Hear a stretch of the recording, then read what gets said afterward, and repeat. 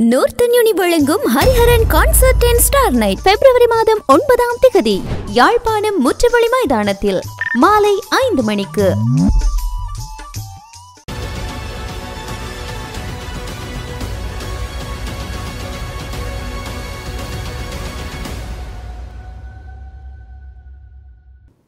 அமெரிக்காவின் தாக்குதலால் ஏமன் நாட்டின் பிரதமர் பதவி இழந்துள்ளார் ஏமன் நாட்டின் பிரதமராக மைன் அப்துல் மாலிக் சஜித் இருந்து வந்தார்.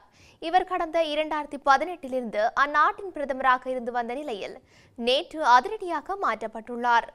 அவருக்கு பதிலாக வெளியுறவுத்துறை மந்திரியாக இருந்த அகமது அவாத் பின் முபராக் புதிய பிரதமராக நியமனம் செய்யப்பட்டுள்ளார். இவர் சவுதி அரேபியாவுடன் நெருக்கமானவர் ஆவார். ஏமன் கடந்த இரண்டாயிரத்தி பதினான்கில் இருந்து உள்நாட்டு சண்டையில் சிக்கி தவித்து வருகின்றது. ஹவுதி கிளர்ச்சியாளர்கள் தலைநகர் உள்ளிட்ட இடங்களை பிடித்து பின்னர் இரண்டாயிரத்தி பதினைந்தில் சவுதி அரேபியா தலைமையிலான குழு ஏமன் நாட்டின் சர்வதேசத்தால் அங்கீகரிக்கப்பட்ட ஆட்சிக்கு ஆதரவு தெரிவித்து வருகின்றது. அதேவேளை இந்த சண்டையில் இதுவரை ஒன்றரை லட்சத்திற்கும் மேற்பட்டோர் உயிரிழந்துள்ளனர். ஹாங்காங் விமான நிலையத்தில் பணியாற்றிய ஊழியர் ஒருவர் விமானம் மோதி உயிரிழந்த சம்பவம் பெரும் அதிர்ச்சியை ஏற்படுத்தியுள்ளது. இச்சம்பவத்தில் ஜோர்டன் நாட்டைச் சேர்ந்த முப்பத்தி நான்கு வயதுடைய நபர் ஒருவரே உயிரிழந்துள்ளார்.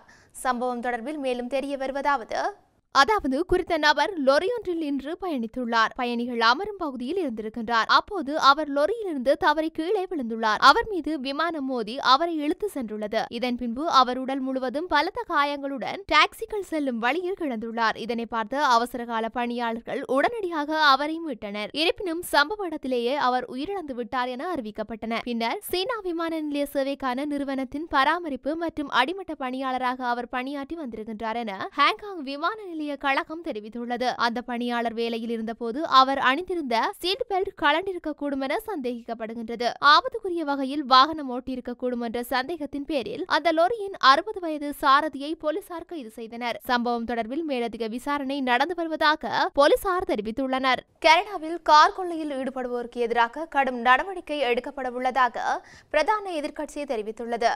கேன்சர் வேடிவு கட்சியின் தலைவரே இந்த விடயத்தை தெரிவித்துள்ளார். ஆட்சி பொறுப்பினை ஏற்றுக்கொண்டால் வாகன கொள்ளையில் ஈடுபடுவோர் கடுமையாக தண்டிக்கப்படுவார் என அவர் குறிப்பிட்டுள்ளார்.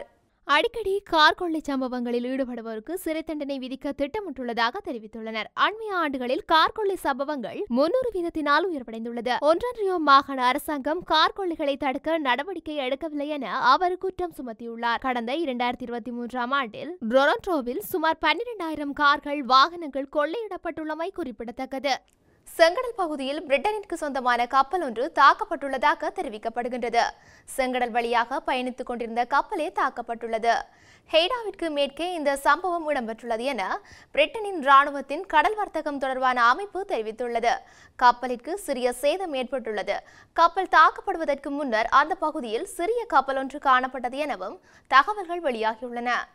இதேவேளை ஏமனியில் ஹவுதி கிளர்ச்சியாளர்கள் மீது தாக்குதல்களை தொடர்ந்து மேற்கொண்டுள்ளதாக அமெரிக்கா தெரிவித்துள்ளது. வெடிமருந்து நிரப்பப்பட்ட ஆளில்லா விமான படகுகளையே அமெரிக்கா தாக்கியுள்ளது. ஜேமனியின் ஹவுதி கிளர்ச்சியாளர்களின் பகுதிகளில் வெடிமருந்து நிரம்பிய ஆளில்லா விமான படகுகளை அமெரிக்க படையினர் கண்டுபிடித்தனர். கண்டுபிடிக்கப்பட்ட வெடிமருந்து நிரம்பிய ஆளில்லா விமான படகு அமெரிக்க கடற்படை கப்பல்களுக்கும் வர்த்தக கப்பல்களுக்கும் உடனடி ஆபத்தாக காணப்பட்டன என அமெரிக்கா தெரிவித்துள்ளது. தென்கொரியாவில் இலங்கையர்கள் பணியாற்றும் தொழிற்சாலை ஒன்றில் பாரிய தீ விபத்து ஏற்பட்டுள்ளது.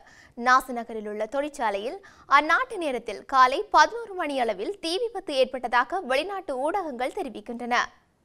அப்போது பணியில் இருந்த நாற்பத்தைந்து ஊழியர்கள் மீட்கப்பட்டதாகவும் இங்கு ஐநூற்றி நாற்பது மில்லியன் சொத்துக்கள் சேதம் ஏற்பட்டுள்ளதாகவும் தெரிவிக்கப்பட்டுள்ளது.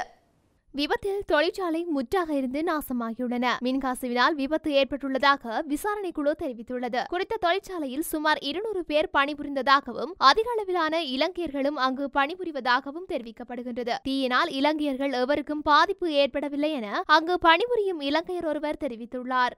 புற்றுநோயால் பாதிக்கப்பட்டுள்ள பிரித்தானிய மன்னர் சார்ல்ஸ் புற்றுநோயை ஆரம்பத்திலேயே கண்டறியப்பட்டுள்ளமையினால் அதனை குணப்படுத்த முடியும் என வைத்தியர்கள் நம்பிக்கை தெரிவித்துள்ளதாக பிரித்தானிய உள்ளூர் ஊடகங்கள் தெரிவித்துள்ளன. இரண்டு வாரங்களுக்கு முன்பு புரோஸ்டேட் அறுவை சிகிச்சைக்கு உட்படுத்தப்பட்டு பிரித்தானியாவின் மன்னர் மூன்றாம் சார்ல்ஸ் புற்றுநோயால் பாதிக்கப்பட்டிருப்பதாக பக்கிங்காம் அரண்மனை தெரிவித்திருந்தது. புற்றுநோய் தொடர்பில் மேலதிக விவரங்கள் எதுவும் வெளியாகாத போதிலும் அது புரோஸ்டேட் புற்றுநோய் அல்ல எனவும் தெரிவிக்கப்படுகின்றது. புரோஸ்டேட் புற்றுநோய் என்பது ஆண்களை பாதிக்கும் ஒரு பரவலான புற்றுநோயாகும். ஆண்களுக்கு இருக்கும் புரோஸ்டேட் சுரப்பியில் இந்த வகை புற்றுநோய் ஏற்படுவதால் அதை புரோஸ்டேட் புற்றுநோய் என அழைக்கின்றார்கள். எழுபத்தைந்து வயதான மன்னர் சால்ஸ் தற்போது சிகிச்சை பெற்று வீட்டில் ஓய்வெடுத்து வருவதாகவும் அவரது பணி பாதியாக குறைக்கப்பட்டுள்ளதாகவும் தெரிவிக்கப்பட்டுள்ளது. அரசர் சார்ஸ் தற்போது மருத்துவ ஆலோசனையின் பேரில் பொதுப்பணிகளில் இருந்து விலகி இருந்தாலும் வாரந்தோறும் பிரித்தானிய பிரதமர் ரிஷி சுனக்கை சந்திப்பார் என உள்ளூர் ஊடகங்கள் செய்தி வெளியிட்டுள்ளன. இதேவேளை இளவரசர் வில்லியம் மன்னரின் பெரும்பாலான ஆக்கப்பூர்வ பணிகளில் கலந்து கொள்வார் என்பதும் அமெரிக்காவில் இருக்கும் இளவரசர் ஹாரி தனது தந்தையின் உடல்நிலையை பார்க்க அடுத்த வாரம் பிரித்தானியா வரவிருப்பதாகவும் செய்தி வெளியாகியுள்ளமை குறிப்பிடத்தக்கது. ஹமாஸ் அமைப்பின் உயர்மட்ட தலைவர்களுக்கு எதிராக கனடா அரசாங்கம் பொருளாதார தடைகளை விதித்துள்ளது.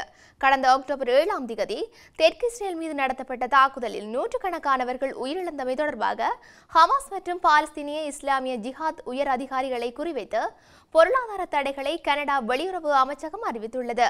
இவ்வாறு பொருளாதார தடை விதிக்கப்பட்டவர்களில் ஹமாஸின் உயர்மட்ட தலைவர்கள் இருவர் அடங்குவர். செவ்வாயன்று வெளிவிவகார அமைச்சு வெளியிட்ட அறிக்கையில் ஹமாஸ் மற்றும் அதன் துணை அமைப்புகள் பிராந்திய பாதுகாப்பிற்கு ஏற்படுத்தும் அச்சுறுத்தலை குறிவைக்கும் வகையில் பொருளாதார தடைகள் விதிக்கப்பட்டுள்ளன என்று கூறியது.